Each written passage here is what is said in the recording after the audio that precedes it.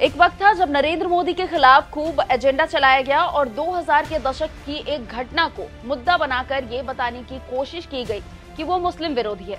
ऐसे में जब 2014 में प्रधानमंत्री पद के लिए उनके नाम का ऐलान हुआ तो फिर इसी लॉबी ने ये कहना शुरू कर दिया कि अगर मोदी प्रधानमंत्री बन जाते हैं तो इस्लामिक देशों के साथ भारत के रिश्ते हद से ज़्यादा खराब हो जाएँगे। लेकिन आज नौ साल बीत गए, नरेंद्र मोदी को प्रधानमंत्री बने हुए। तो सवाल ये है कि क्या इस्लामिक देशों के साथ भारत के रिश्ते खराब हुए? क्या भारत और इस्लामिक देशों के बीच व्यापार बंद हुआ?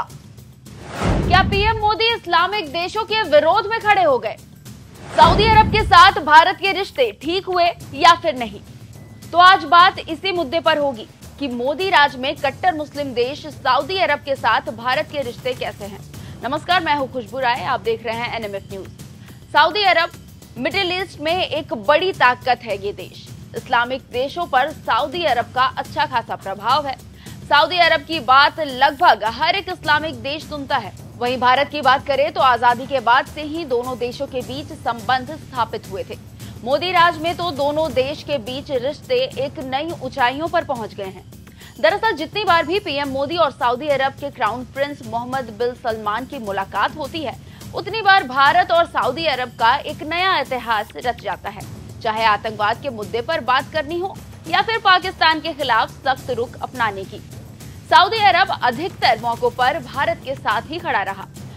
मोदी राज में दोनों देश रणनीतिक साझेदारी को अलग मुकाम तक पहुँचाने में भी सहमत है।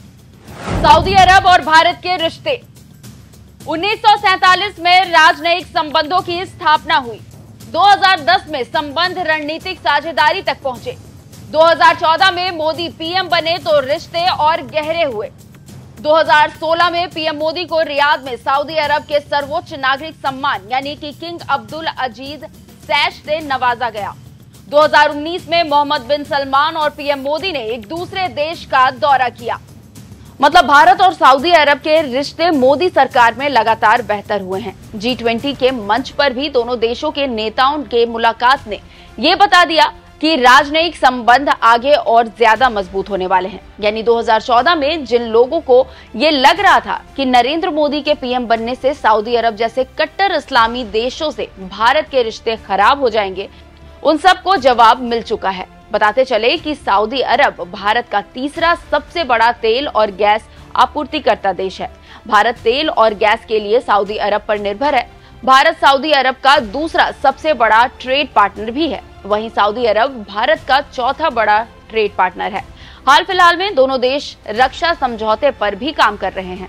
तो ये कहना गलत नहीं होगा कि भारत और सऊदी अरब के बीच रणनीतिक साझेदारी क्षेत्रीय एवं वैश्विक स्थिरता के लिए बेहद ज़रूरी है। इसलिए मोदी राज में कट्टर मुस्लिम देश सऊदी अरब के साथ भी भारत के रिश्ते लगातार बेहतर बने हुए हैं और व्यापार चल रहे हैं।